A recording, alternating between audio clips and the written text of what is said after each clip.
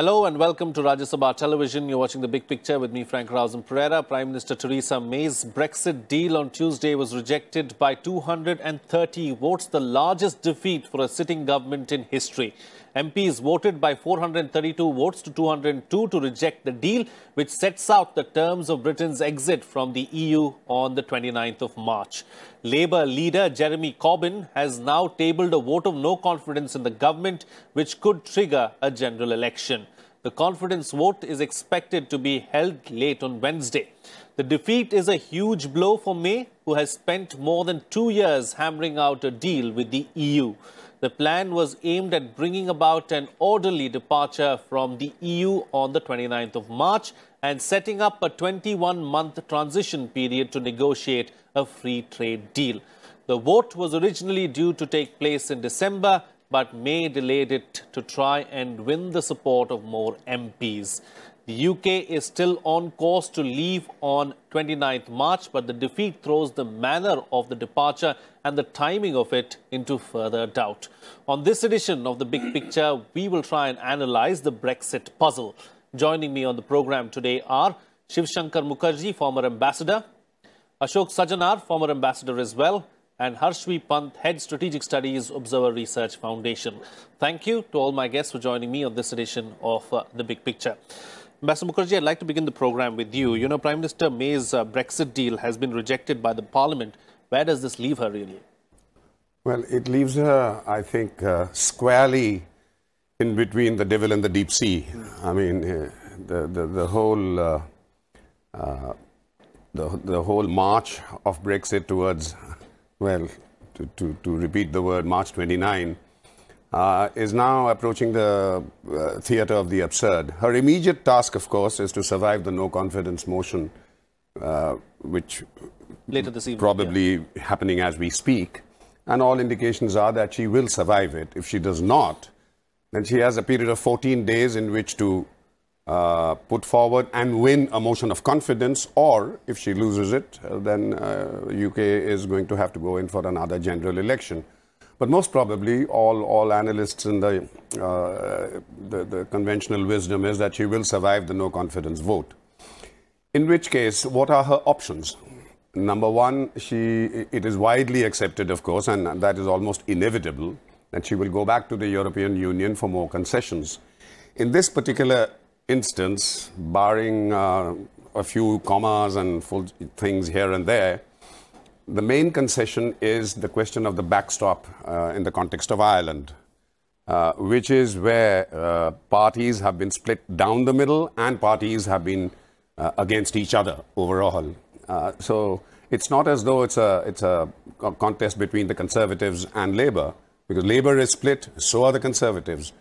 Hard Brexit versus soft Brexit, and no, uh, and, and um, a tiny minority, but very vocal, asking for a complete no deal hard Brexit, uh, which is being countered by yet another growing crescendo of opinion for uh, a second referendum. Mm. Uh, the, the logic is that although a referendum is supposed to be sacrosanct, the, to put, not to put a, you know, uh, to, to, to, to give it very bluntly, uh, the first referendum was based on a tissue of lies and propaganda and populism. The population is now much more aware of things as they actually are. They have the much, much, much more uh, and many more facts at their disposal, and therefore this referendum will be a, a, much more truthful indication, a clearer indication of what the population actually wants. Right.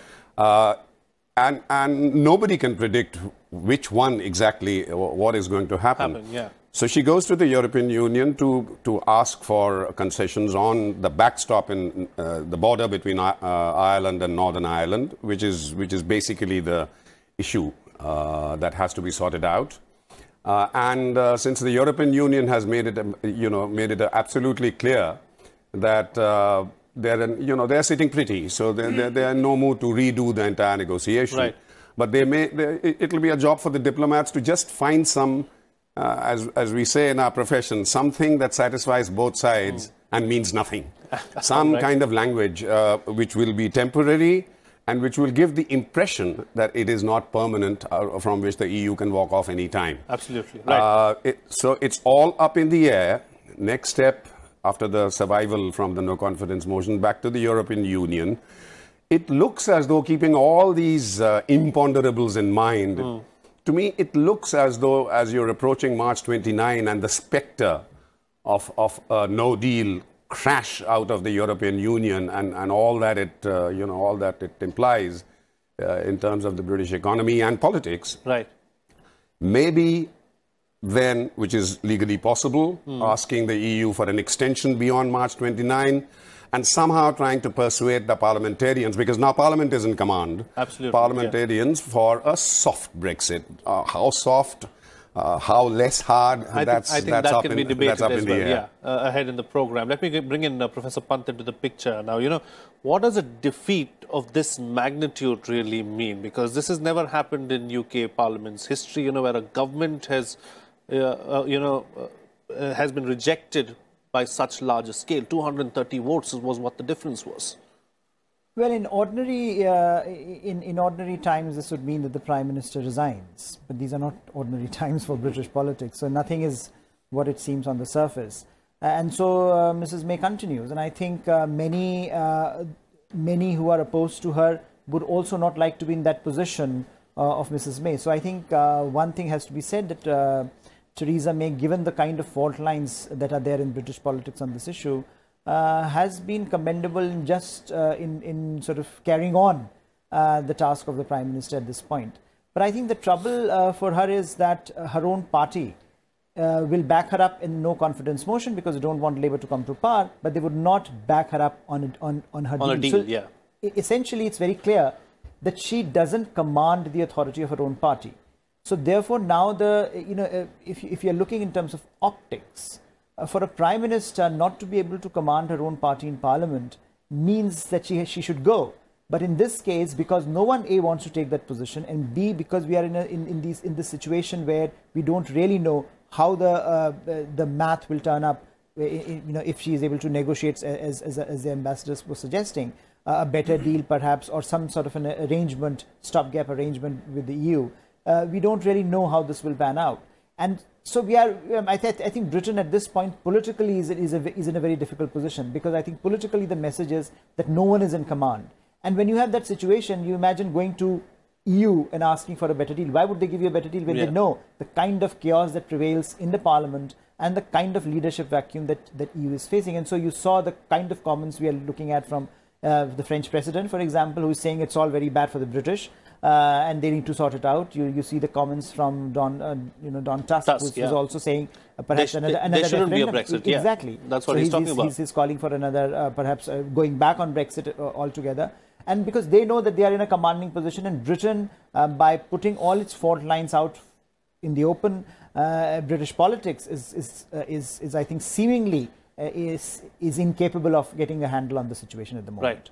Ambassador Sajjanhar, a referendum the best way forward, do you think? Because, you know, Ambassador Mukherjee also uh, touched upon that particular point about how several people within the UK are talking about it's been over two years since Article 50 was invoked.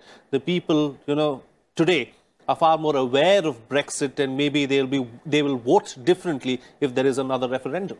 Well, you know, that's uh, one of the options on the table, Frank, and, you know, that's been mentioned uh, within uh, uh, the United Kingdom, also uh, across the channel from uh, Brussels, and also, you know, people, former Prime Minister John Major, he's also suggested let there be a second referendum. That is definitely one of the options on the table.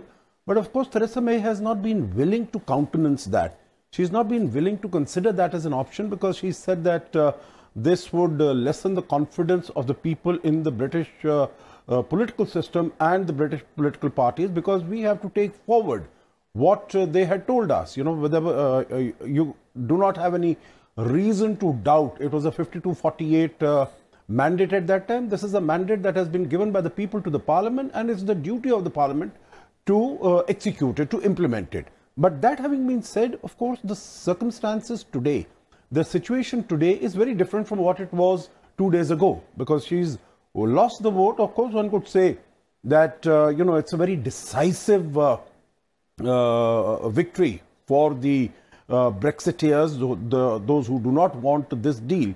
But of course, you know, if you're looking at it, it is the Brexiteers from the Conservative Party and also the Labour Party. They also uh, joined with them.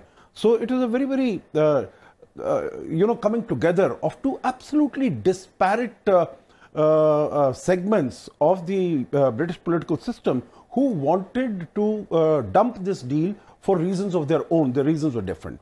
So referendum definitely is one of the options. And here one would say that, you know, uh, at that time, in June 2016, when the referendum took place, people voted by the heart as to, you know, that this is what they want to see. They want uh, Europe to get out of their lives, uh, Britain not to be, uh, not to, uh, you know, be guided by uh, European institutions like the European Court of Justice. They thought that they were paying too much of money. They did not, they wanted to control immigration. They did not have uh, control over the agriculture policy, over the fishing policy, etc. All these things. So they were voting with their heart. But now, after two years, actually two and a half years, they've realized how difficult the whole process is, number one. And number two, were they to go for the Brexit, you know, because there are no winners in that sense, There right. is no clean Brexit deal, then it is uh, going to be very problematic for Britain itself for its economy, for the people, for uh, its own citizens who are there. Right. And uh, so they might have got wiser.